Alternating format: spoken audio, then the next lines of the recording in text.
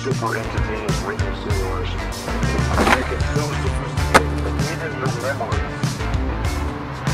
are resulting the improvement for the simulation.